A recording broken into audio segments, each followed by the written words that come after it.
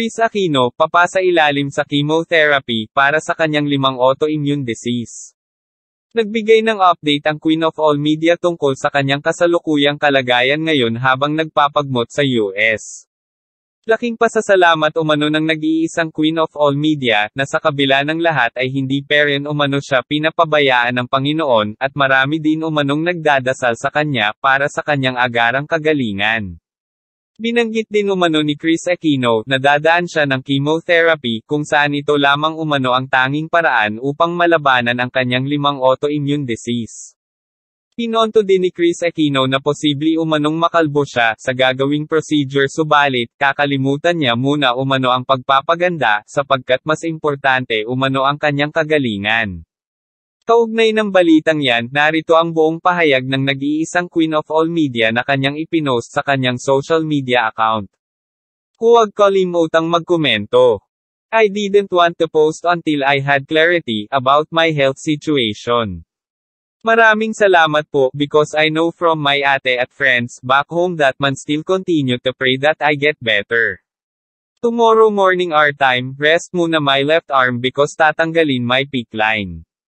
There have been times I wanted to give up because of fatigue and being forever bedridden, the bruises all over my body that suddenly appear, my inability since February to tolerate solid food, headaches, bone deep pain in my spine, knees, joints in my fingers, and my constant flares especially in my face that just keep getting worse.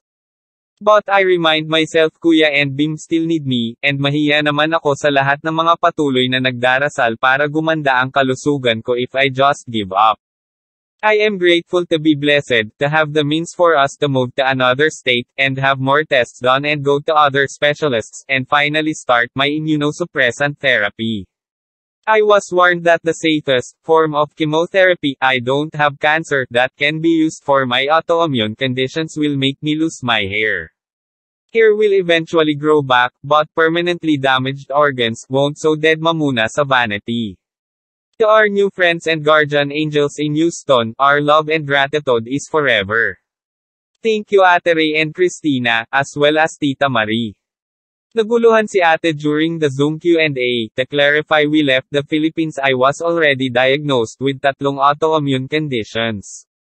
It was while here in Houston that I was diagnosed with a fourth. Unfortunately all my physical manifestations are pointing to a possible fifth. Opo, pinakyo ko na. Good night at God bless to all with hashtag love love love from Kuya, Bim, and me.